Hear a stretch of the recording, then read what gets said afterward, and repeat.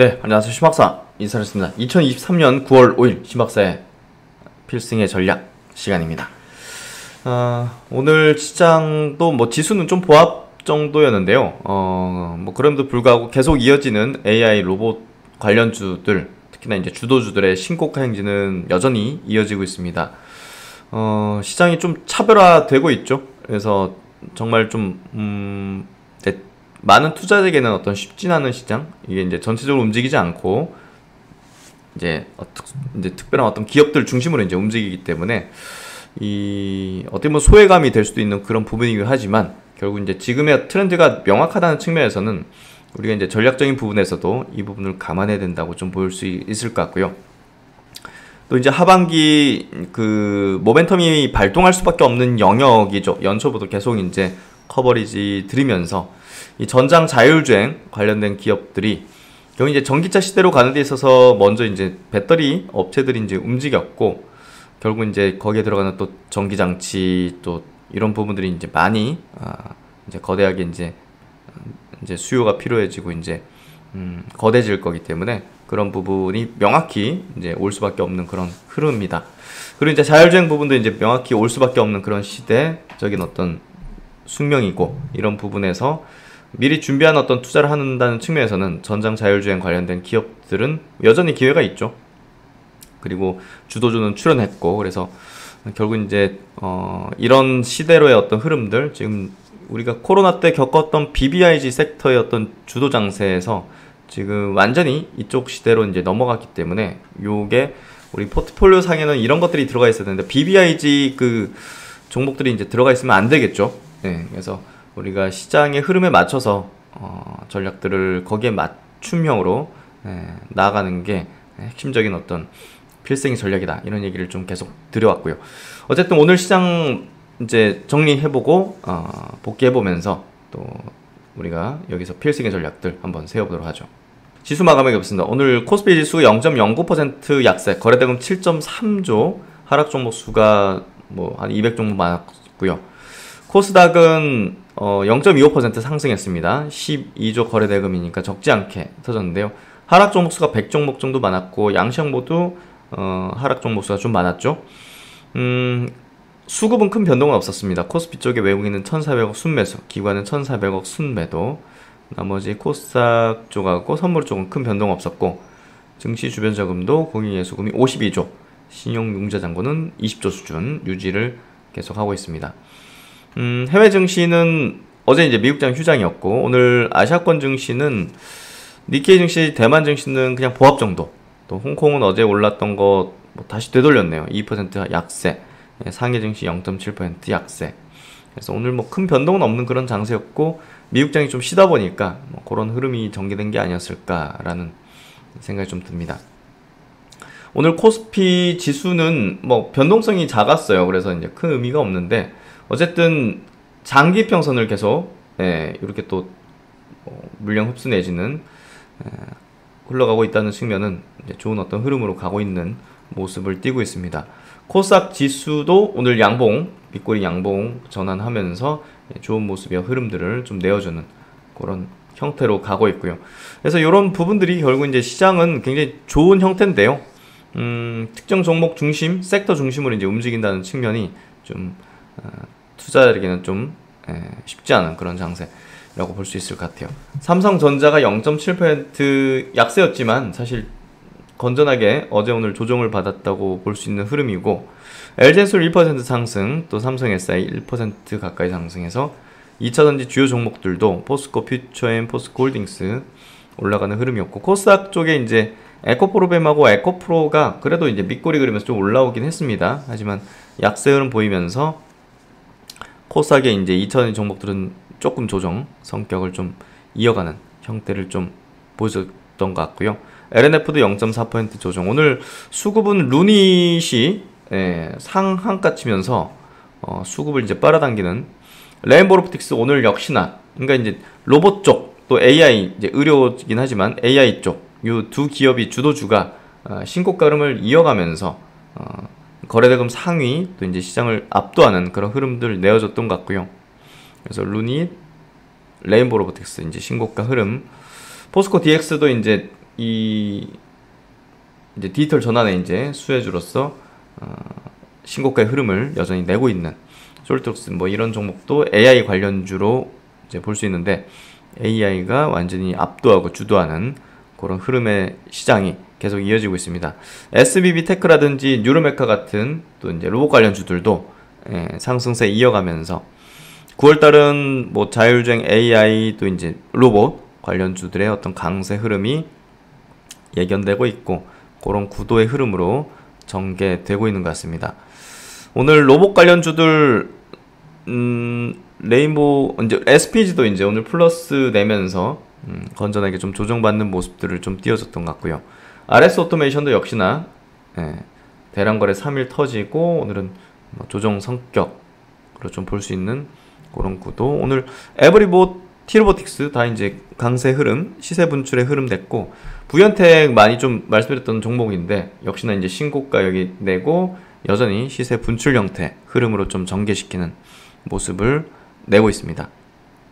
그래서 종목별 흐름 자체가 로봇 중심의 흐름들을 뚜렷하게 보여주고 있고 또 삼성 SS가 이제 지분 인수한 엠로도 12% 상승으로 어, 신고가 예, 흐름들을 종가 기준이죠 내고 있는 모습을 볼 수 있습니다. 자율주행 쪽으로는 오늘 어, 텔레칩스, 오비고 이런 종목들 음, MC넥스도 밑에서 올라오고 있고 현대오토에버도 꾸준하게 우상향의 기조는 이어가는 그런 어떤 패턴을 확실히 좀 보여주고 있는 것 같습니다. 종목별 흐름들 보면 이제 뚜렷하죠. 예. 예, 성장 주요 이제 섹터 업종들이 계속 우상향 기조를 띠고 있고 반도체 쪽 ISC 플러스에서 반도체 쪽도 나쁘지 않은데 조정 나온 종목도 좀 많았던 것 같아요. 그래서 좀 그런 모습들 뷰노 AI 이제 의료 관련된 기업들 딥노이드 JLK 같은 기업들 또 신데카바이오 최근에 이제 말씀을 드렸던 종목인데 AI 이제 신약 이제 국내 이제 유일 기업이기도 하죠.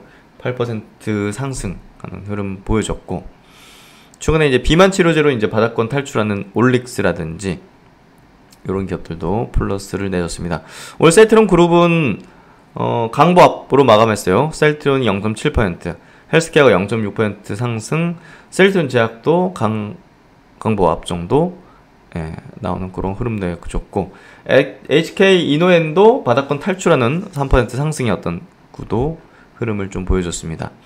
그래서 어, 바이오 반도체 또 2차전지 이제 2차전지는 어, 코스피 쪽에 이제 주요 종목들이 이제 강세를 좀 띠는 그런 모습들을 보여줬던 것 같고요.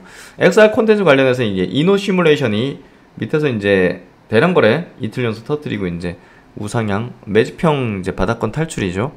이런 모습 내고 있고 에이프로 같은 기업들 지금 2차전지 섹터는 장비주 네, 중심으로 이제 움직임이 네, 거세게 좀 만들어지고 있습니다. 그래서 오늘 에이프로가 좀 강세를 띠는 모습을 보여줬고 윤성 FNC도 3% 상승 상승세 이어가는 그런 패턴이고요. 엠플러스도 바닥권 계속 올라오는 패턴 예, 이어가고 있습니다. 그래서 이런 모습들 어, 반도체 장비 섹터에서 이제 코인테크도 어, 이제 좀 신고가 다시 또 내려는 그런 구도 흐름을 좀 내어주고 있고요. 전체적으로 이제 시장의 구도는 뭐 성장 주요 업종의 예, 뭐 주도조 종목들 그런 종목들 중심으로 강세 흐름을 계속 이어가는 패턴을 보여주고 있습니다. 그리고 이제 그 중국 모멘텀의 대장주 또 이제 호텔신라도 어, 계속적으로 옆으로 이제 거래는 급감되고 있죠. 결국 이제 이게 무슨 의미냐면요. 이, 요때 이제 터졌던 거래량이 이제 매집형 거래량이고 옆으로 그냥 돌리면서 예, 이제 이제 조정 보이는 거죠. 음, 이거는 우상향의 기조를 계속 이어가고 있는 모습이라 보면 될, 되는 거예요. 그래서 21선 밑에 두고 우상향의 기조를 내기 위한 예, 뭐 수급 소화, 물량 소화의 어떤 흐름들을 내고 있는. 주도주가 굉장히 명확하게 지금 출연했고 나와주고 있기 때문에 우리가 이제 어떤 섹터가 움직일 걸로 예상된다면 종목에 대한 고민은 별로 그렇게 할 게 없어요 사실. 예, 그만큼 주도주에 집중하는 전략으로 나가는 게 가장 핵심적인 어떤 전략이자 가장 수익률을 안정적으로 또 퍼포먼스 있게 낼 수 있는 방법이기 때문에 이런 것들을 좀 이제 강조 드렸고 유한양도 마찬가지죠 예, 주도주가 완벽하게 이제 바이오 섹터에서 이제 나와줬기 때문에 이 조정받는 구간인 거거든요. 예, 그래서 어, 많은 투자들이 이제 어, 이 대장주 주도주들을 이제 잡기도 하고 알아채기도 하지만 털리는 이유는 털리는 이유는 추세와 조정을 구분을 잘 못하기 때문에 예, 주도주를 털리는 거죠. 예, 소위 이제 털린다고 표현하는 게 맞을 것 같은데 그런 부분에서 최근에 이제 보여지고 있는 명확한 주도주, 뭐 중국 호텔신라라든지 바이오 쪽에 이제 유한양행 같은 기업들 이런 기업들을 이런 구간에서 계속적으로 이제 많은 대중 투자들은 이제 뺏기고 있는 걸로 어, 해석하는 게 정확할 거라 봅니다. 그래서 그런 부분들을 좀 유념해서 예, 전략상 좀 세워 나가시는 게 필요하다고 생각하고요. 어, 외국 기관 동시 순매수 쪽 보죠. 오늘 뭐 수급 구도는 큰 변동은 없어가지고 오늘 뭐 포스코 인터내셔널, 포스코 퓨처엠, LG엔솔 이런 주도주 라인들이 그래서 오늘 뭐 SK하이닉스, LG이노텍 이런 기업들 2차전지 종목들이 좀 많이 보이네요. 코스모 신소재, 코스모 화학 같은 기업들이 수급 상위에 이제 놓여 있고 코스닥은 레인보우 로보틱스 또 아프리카 TV도 바닥권 탈출의 모습이 역력히 최근에 나타나고 있죠. 120억 들어왔고 셀트리온 헬스케어도 이제 오늘 좋았고 코윈테크, 텔레칩스 뭐 좋을 만한 기업들의 수급들이 꾸준하게 들어오는 것 같습니다. 이슈 체크로 넘어가죠. 그럼 이제 주요 관심주들 리포트 한번 체크해 볼게요. 삼성전기인데요. 어, 전장 자율주행 분야로 이제 성장해 나가는 그런 이제 어, 기업이죠. 음. LG전자 또 LG이노텍 또 삼성전기까지 전장 자율주행 쪽에 포지셔닝을 가시면서 음, 좋은 흐름들을 좀 내고 있는데요. 특히나 이제 뭐 전기차 이제 시대로 접어들면서 이제 배터리 뭐 이제 이 전기 장치 예, 이런 분야의 어떤 성장은 가시적이고 확실하죠. 그래서 이제 거기에 포지션을 가진 기업들에 대해서는 과거 뭐 삼성전기든 LG이노텍이든 휴대폰에 포지션을 두고 있다가 이 valuation up을 할 수 있는 영역으로 이제 들어가면서 어, 조금 더 이제 우리가 어, 시클리컬한 어떤 부분에서 구조적인 성장의 방향으로 좀 해석하는 게 분석하는 게 좀 필요할 것 같습니다. 어, 지난 9월 4일이죠. 미국 자동차 업체와 이제 카메라 모듈 공급 계약 체결 공시를 맺으면서 음, 일단 확실하게 이제 전장 분야로 이제 포지셔닝을 갖추는 그런 주시장에서도 포지션을 갖추는 그런 모습인데요. 미국 자동차 업체는 전기차 자동차 업체로 추정되고 추가 공급 계약으로 25년 본격적인 매출이 반영될 걸로 판단된다. 동계약으로 삼성전기는 고객산의 확고한 경쟁력과 높은 점유율 유지를 예상하고 북미향 카메라 모듈 매출을 추가로 확보하여 기존의 중국, 유럽향 공급 물량을 포함하면 글로벌 공급망을 이제 확보하고 전장량 매출이 본격화될 걸로 예상이 된다. 이번 계약의 의미는요, 25년 전장량 매출, 카메라 매출이 상향될 전망이고, 종전 7천억에서 8천억 이상으로 상향될 가능성을 부여한다. 22년 3천억에서 올해 4천억 증가 이후 2005년, 2025년 본격적인 성장으로 이제 접어들 걸로 예상되고요. 광학 솔루션 내 매출 비중은 9.7% 작년 기준 25년 24% 확대되면서 예, 점점 제 매출에서 어떤 이 전장향의 아, 비중이 높아지고 거기에 따른 또 valuation up 상향이 이제 될 수밖에 없는 그런 흐름으로 전개될 것 같습니다. 어쨌든 전 자동차의 이제 자율주행, 전장화, 또 전기차로의 전환이 가속화되면 카메라도 이제 고화소로 상향되고 또 멀티 카메라 채택이 이제, 이제 많은 카메라가 또 채택이 되면서 카메라에서의 어떤 경험을 보유한 삼성 전기가 당연히 이제 유리할 수밖에 없습니다. LG 노텍이 유리한 이유가 이제 그런 부분이죠. 그래서 삼성 전기의 전체 포트폴리오가 전장 AI 중심으로 이제 전환되고 있고 어, 삼성전자 스마트폰 향에 대한 의존도가 축소, 비중이 축소되어 가는 과정 속에서 전장 분야로의 어떤 매출 확장 그리고 이제 비중이 에, 증가하는 흐름들, MLCC 이런 것들 다 이제 전기차에 많이 들어가는 부품들이죠. 또 FC, BJ 이런 부분들도 다 전장향 분야로 확대가 되고 있고, 그래서 결국은 전장향으로 포트폴리오 다각화가 가속화될 걸로 예상된다는 거. 그래서 퍼밸류션도 올해 20배, 점점점 내려가서 12배, 25년도 어, 전망되어집니다. 그래서 지금 삼성 전기의 어떤 주가 궤적도요. 어, 장기 이평선 부근에 이제 매물 흡수를 통해서 이제 정배열 전환의 구도를 가지려는 예, 저점은 계속 높아지고 있는 상황이고 그런 부분에서 아, 앞으로 또 LG전자 또 LG노텍과 함께 시총 상위 또 전장 어, 기업으로서의 어떤 밸류에이션과 아, 우상향의 기조를 보이지 않겠는가 이렇게 좀 전망이 되고요. 뭐 같이 이제 보면 LG전자, LG노텍 이런 기업도 같이 보면 되겠죠. LG전자도 이제 최근에 저점 다지는 흐름들 전개되고 있고 LG노텍도 마찬가지로 저점에 대한 어떤 부분들이 예, 형성이 되는 모습들을 좀 띄고 있습니다. 이런 것들이 결국 이제 그 전장 관련된 모멘텀이 하반기 본격적으로 좀 불어닥칠 걸로 예상이 되고 있고요. 우리는 주식 투자를 하면서 항상 어, 미래 예, 방향성에 맞춰서 이제 포지션을 또 이제 전략들을 또 포트폴리오를 이제 짜 나가야 되는데요. 그런 부분에서 예, 전장형 기업들에 대한 관심을 높일 필요가 있습니다. 그 다음에 이제 MC넥스인데요. MC넥스도 마찬가지로 이제 자율주행 전장 아, 방향으로 이제 매출 확장이 되고 있죠. 지금 스마트폰에서 이제 내공을 쌓았던 그런 기업들이 결국 이제 전장향으로 이제 선회하고 비중을 확대하고 매출 확대하는 그런 어떤 부분이고 아직은 그쪽에서 수익성이 크진 않지만 이렇게 또 MC넥스 같은 경우는 또 3분기 흑자 전환이 예상되는 측면들 수익성에 대한 어떤 반등이 시작된다는 부분들 이런 부분들이 아, 올해 하반기 본격적으로 좀 이뤄지는 걸로 전망이 되고 있습니다. 그래서 이제 우리가 하반기 어, 세워나갈 전략의 또 중심축 중에 하나는 또 전장 쪽이다 이렇게 보면 될 것 같은데 거기에 또 들어가는 편입되는 종목이 이제 MC넥스 같은 기업이 되는 거죠. 이 전장향 어, 매출 다변화 및 고성장에 주목해보자. 자율주행 전장화 중심의 카메라 및 어, 부품 기업으로 전환 성장. 이 자율주행 기술도 계속 고도화시키고 있어요. 그래서 MC넥스에 대한 기대를 저는 좀 개인적으로 많이 갖고 있고요. 전장 매출이 올해 이제 42% 증가, 내년 21% 증가, 매출 비중이 계속 이제 지속 증가하면서 내년 30% 이상으로 확대될 걸로 예상이 되고 있고 자율주행 3단계 적용이 EV9부터 시작으로 이제 현대차가 이제 3단계 이제 시행을 하니까요. 24년 제네시스 90 및 다른 차종의 확대 MCX가 이제 수혜를 예상해 볼 수 있다. 그래서 MCX에 대한 기대를 이제 점점 가질 만한 그런 구간으로 넘어간다고 보면 될 것 같습니다. 그리고 이제 중국 모멘텀의 대장주 성격이죠. 호텔신라입니다. 해외여행 수요 회복의 최대 수혜주임에는 이제 분명해 보이고요.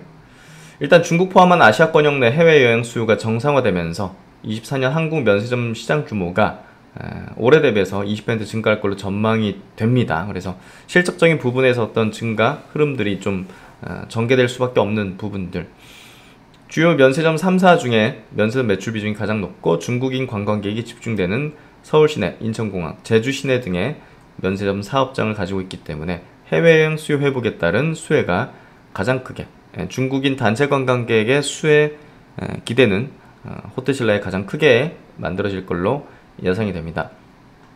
특히나 최근에 또 호재가 발생된 게 중국이 일본의 그 이제 후쿠시마 이제 원 오염수 그거 하는 부분이 이제 좀 일본을 이제 뭐랄까 좀 견제하는 어떤 액션들이 좀 벌어지고 있죠. 중국 내 반일 정서 심화로 객단가 높은 중국인 inbound 유입이 이제 한국으로 좀 확대되는 흐름 속에서 한국 면세점 시장의 성장세가 탄력을 받을 걸로 전망이 된다는 부분.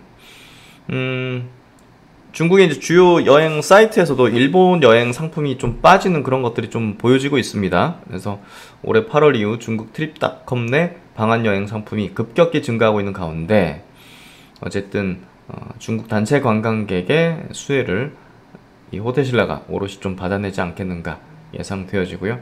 퍼밸리션도 15배, 14배, 12배 정도로 어, 올해부터 25년까지 조금 밸류도 낮아질 걸로 예상이 되고 있습니다. 그리고 이제 엠노인데요. 삼성전자의 이 AI 방향성에 오롯이 이제 부합되는 종목이 이제 바로 엠로라는 기업입니다. 지난 주말에 이제 삼성전자가 레인보우를 로봇에 선택하죠. AI를 엠로를 선택하는 부분에 대한 뭐 엠로라는 종목을 이제 언급드리진 않았지만 어쨌든 엠로가 삼성 SDS가 이제 지분 인수를 하면서 본격적인 성장의 가도를 좀 낼 가능성이 높아지고 있습니다.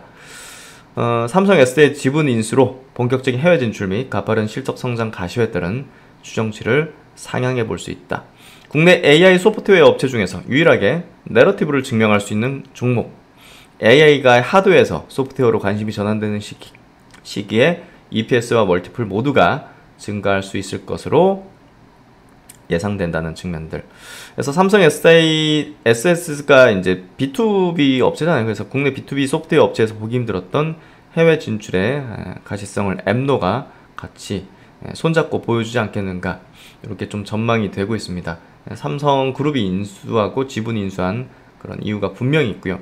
우리가 레인보우 로보틱스의 어떤 행보를 본다면 엠노의 흐름도 어느 정도 좀 가시적으로 좀 예상이 되어지는 그런 부분이다. AI 소프트웨어 주도주로 예, 나설 공산이 크다 이렇게 좀 볼 수 있는 엠노입니다. 그리고 이제 미국 기업 이제 실적 발표 나오면서 굉장히 급등한 종목이 델인데요. 델 테크놀로지스 이제 AI 모멘텀이 붙는 흐름이고요.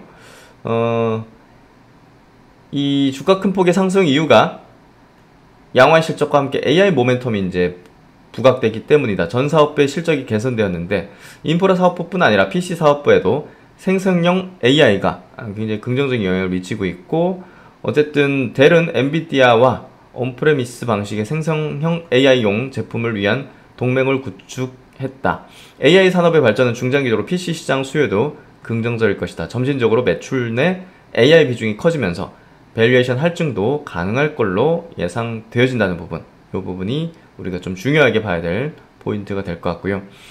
음, 델 CEO가 AI가 델의 중장기 성장성을 회복시키고 있음을 강조했다. AI가 기술 투자 관련 총 유효 수요 확대를 촉진하고 있고 인공지능 덕분에 향후 몇 년 동안 하드웨어 및 서비스 시장은 연평균 19% 성장률을 보이면서 900억 달러 이상으로 커질 수 있다고 설명을 하고 있고요. 최근 출시한 고성능 AI용 서버의 견조한 수요를 확인하면서 결국 이제 델, 델이 엔비디와 함께 AI 모멘텀을 어, 오롯이 받는 그런 모습들. 신제품 덕분에 AI 관련 매출은 상반기 서버 주문 매출의 20%까지 확대됐고 수주 잔구가 20억 달러 확보됐다. 이게 컸던 것 같아요. 시장의 파급이. 그래서 그런 부분에서 대리라는 기업도 우리가 또 미국의 또 AI 모멘텀을 받는 기업으로 분류해서 리스트업할 필요성이 있을 것 같습니다. 한화증권 리포팅이었고요.